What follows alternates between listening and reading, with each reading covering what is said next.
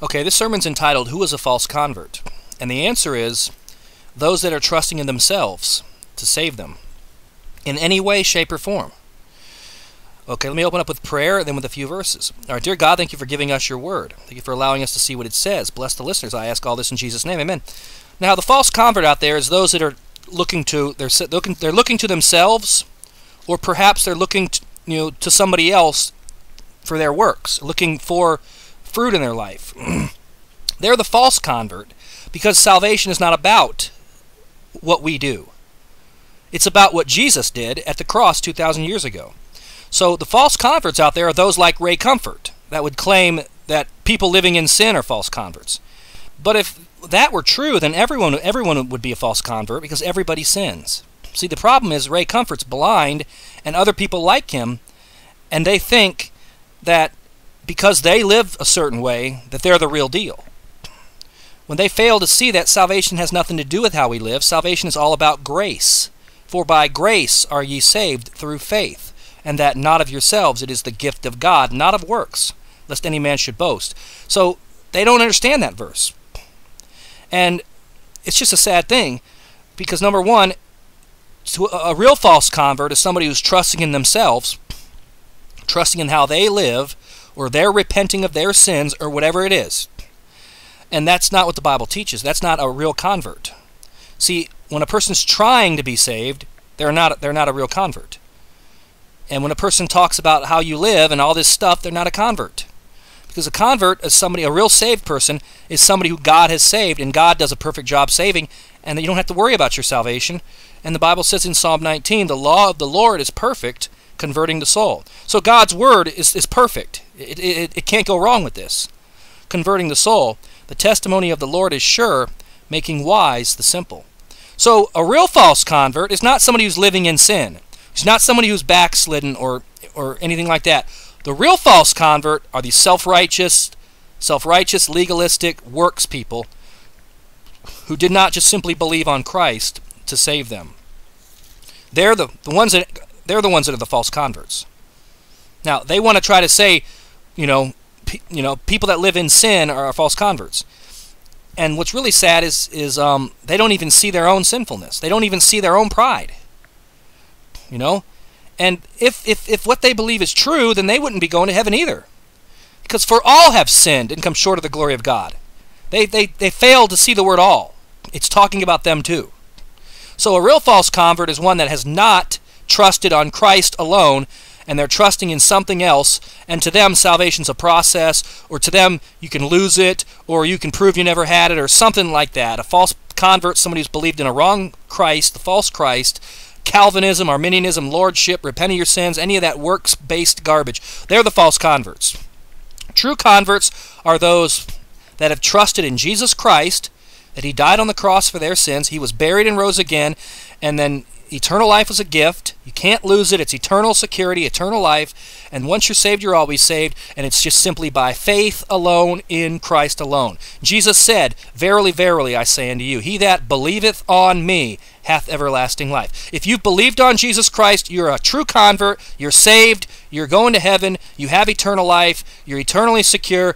And the false converts are the ones that are not trusting in that they call it easy believism and they call it cheap grace, but they're what they believe is works and they believe they got to prove it by how they live and then if you're truly saved, God will do a transforming work on your life and all this. They're the false converts, period. Because they have not trusted in what Jesus Christ has already done for them. It's already paid for in full. So the false converts are not those that are fallen away or backslidden.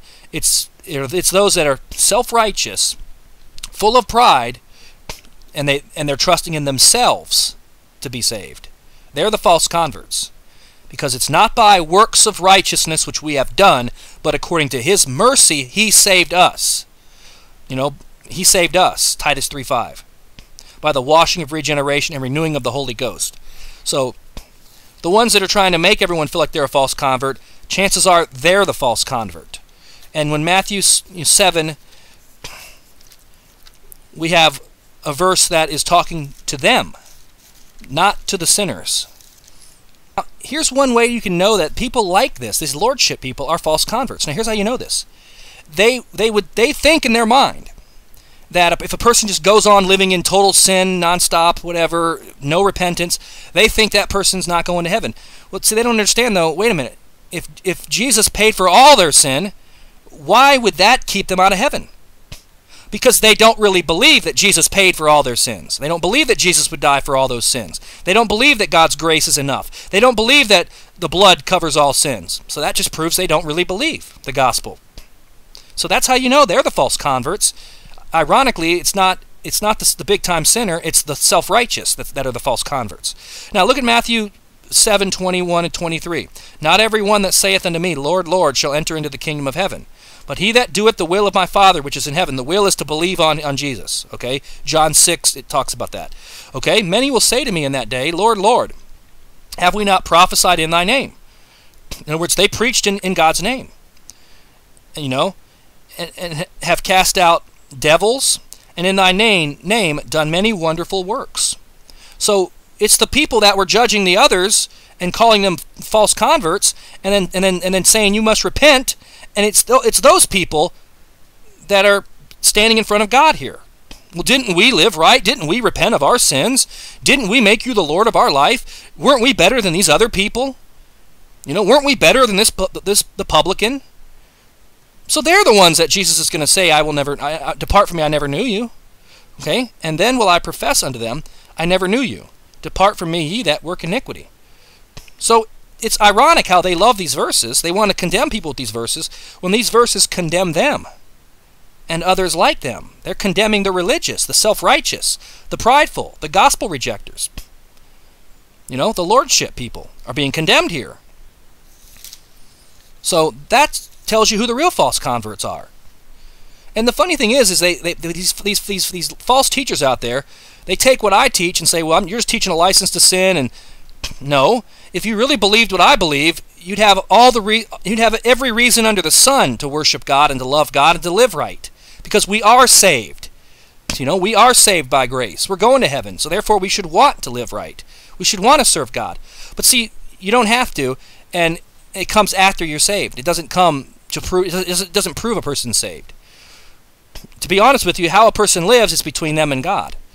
But the ones that are trying to live a good life to be saved, they're the false convert. It's the other way around. You get saved first, and then you should live a good life because you you want to be blessed and because you want to please God as your heavenly Father. But it's not you can't reverse it. If you reverse it, you got Matthew, you got these verses, Matthew 7, you know, 23. So you got to you got to you got to understand it how the order of things.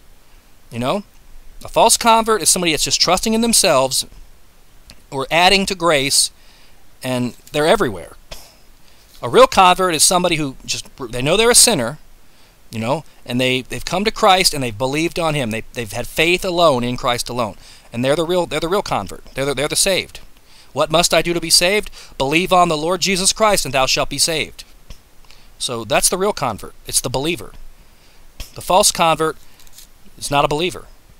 He's just trusting in his works and his repentance, or he's added something to faith which cancels it. So that tells you who the false convert is. It's not somebody who lives in big time sin, necessarily. It's somebody who's trusting in themselves, and they don't understand that anyone who believes on Christ is saved. And that's who the false convert is. Dear God, thank you for giving us your word. Thank you for allowing us to see what it says. Bless the listeners. I ask all this in Jesus' name. Amen.